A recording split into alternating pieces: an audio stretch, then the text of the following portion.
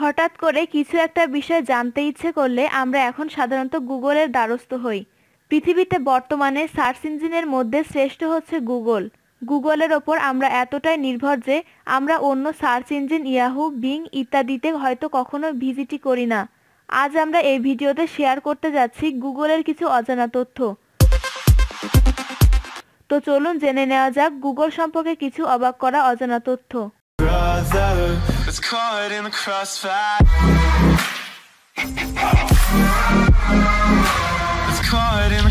এক গুগলের প্রতিষ্ঠাতারা হলেন ল্যারি পেইজ ও সার্গেই বিন তারা ক্যালিফোর্নিয়া স্ট্যানফোর্ড বিশ্ববিদ্যালয়ে পিএইচডি করার সময় গুগল লঞ্চ করেন। দুই, একদম প্রথম দিকে গুগল প্রতি সেকেন্ডে মাত্র পঁয়ত্রিশ থেকে চল্লিশটি রেজাল্ট সার্চ করতে পারত। গুগলের আসল নাম প্রথমে ছিল ব্যাকরাব তিন, গুগল চাকুরি দেওয়ার ক্ষেত্রে প্রাতিষ্ঠানিক শিক্ষা বা সার্টিফিকেটের তেমন মূল্য দেয় না। গুগলে কর্মরতদের মধ্যে বেশিরভাগ কর্মী কলেজে পড়তেন না। চার, গুগল প্রতি বছর এপ্রিল মাসের প্রথম দিন তাদের কর্মীদের অভিনব কায়দায় অবাক করিয়ে দিয়ে এপ্রিল ফুল উদযাপন করে। আর দু হাজার চার সালের পহেলা এপ্রিল গুগলের জিমেইল চালু করা হয়। তাই অনেকেই তখন ভাবে যে এটাও হয়তো একটা এপ্রিল ফুল প্রাঙ্ক। পাঁচ বরাবরের মতো দু হাজার সাত সালের পহেলা এপ্রিল গুগল তাদের কর্মকর্তাদের একটি মেইল পাঠান, এই বলে যে তাদের অফিসে একটি অজগর ঢুকে পড়েছে। সবাই বুঝতে পারে যে এটি একটি এপ্রিল ফুল। কিন্তু পরে দেখা যায় সত্যি সত্যি একটি অজগর এসে পড়ে গুগলের অফিস প্রাঙ্গণে। ছয়। গুগলের বর্তমান নাম এর বানানটি ভুল করে দেওয়া হয়।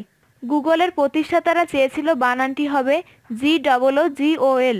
যার মানে একের পর একশোটি শূন্য, তবে তারা ভুল করে ফেলে। সাত দু সাল থেকে প্রতি মাসে গুগল দুইটি করে নতুন কোম্পানি কিনে নেয়। গুগল প্রতি বছর শুধুমাত্র বিজ্ঞাপনদাতাদের কাছ থেকেই প্রায় বিশ থেকে তিরিশ বিলিয়ন ডলার ইনকাম করে। আট, গুগলের আই অ্যাম ফিলিং লাকি বাটনটির কারণে প্রতি বছর গুগলের প্রায় একশো দশ মিলিয়ন ডলার ক্ষতি হয় কারণ এই বাটনটি দিয়ে সার্চ দিলে গুগল কোনো বিজ্ঞাপন দেখায় না। তবে শুধুমাত্র ব্যবহারকারীদের কথা ভেবেই গুগল এই বাটনটি চালু রাখে। নয়, উনিশশো সালে গুগলের প্রতিষ্ঠাতারা এক্সাইক নামের একটি কোম্পানির নিকট মাত্র এক মিলিয়ন ডলারের বিনিময়ে গুগলকে বিক্রয় করে দিতে চায়। কিন্তু এক্সাইট গুগলকে না কেনার সিদ্ধান্ত নেয়। দশ।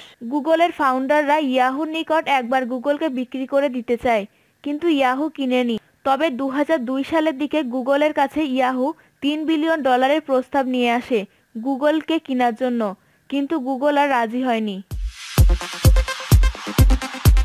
এগারো। গুগলের প্রথম দিকে সাইটে কোনো সার্চ বাটন ছিল না, যা সার্চ করবেন তা লিখে ইন্টার কি চাপতে হতো, কারণ গুগলের ফাউন্ডাররা সার্চ বাটন ডিজাইন করতে জানতেন না।